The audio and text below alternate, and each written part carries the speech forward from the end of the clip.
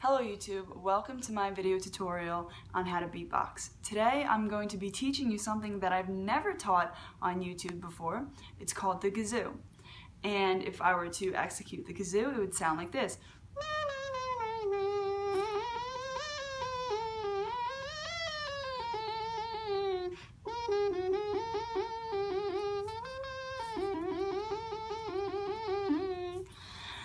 It sounds pretty bizarre, but it's really cool because I use it in beatboxing all the time. Um, I kind of use it for dubstep because I can't really do like the traditional dubstep just because like I'm a female and my voice isn't really that low. It's I have a lower voice for a female, but not as low as like a, a guy's voice. Um, so I when I use it for beatbox, it sounds like this, something like that. I don't I don't really beatbox. I don't really dubstep beatbox that much, but it sounds kind of cool. Um, so in order to do the kazoo, it's a little bit difficult and it's going to take some time to practice, but, um, oh well, practice makes perfect anyways. So what you're basically going to, I don't know if I'm going to be able to uh, explain this that well, but I'm just, I'm going to try my best. If it doesn't work out, I'll make another video and try and clarify things a little bit better.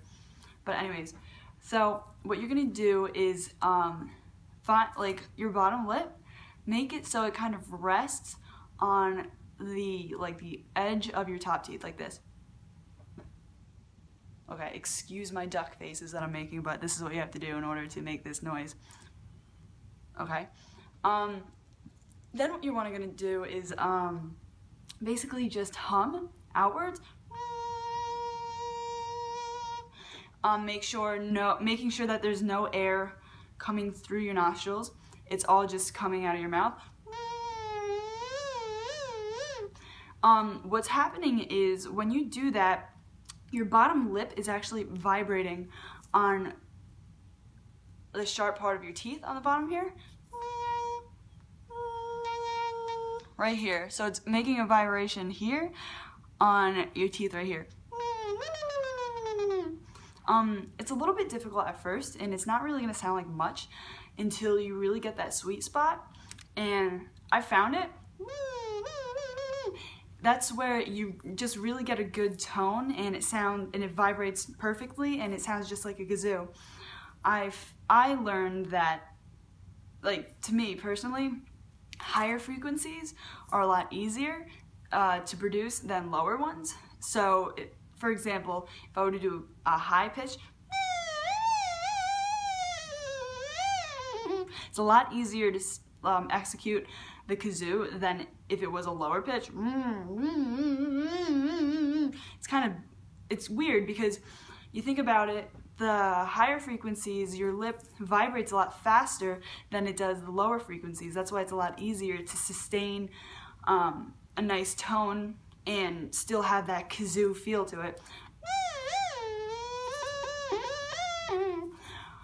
So that's basically it. Um, you just have to really, it's basically just finding that sweet spot where to rest your top teeth on your bottom lip. And you just have to practice. Make sure there's no air coming out of your nose. You're basically just humming the whole time. And at the same time, making sure that you keep this vibration going on right here. Um, I hope this video helped. If not, please comment down below. Any questions? And like I said, if I didn't explain this that well, I will, I'll try and make another video trying to clarify things a little bit more. Thank you so much for watching my video. Please like and subscribe, and I hope to see you in my next video.